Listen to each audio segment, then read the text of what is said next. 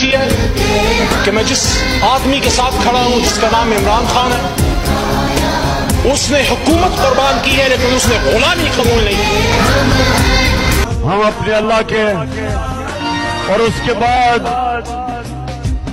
उसके हबीब नबी सल्लल्लाहु अलैहि वसल्लम के हम गुलाम हैं। बाकी हम किसी को, हम किसी के सामने नहीं झुकते।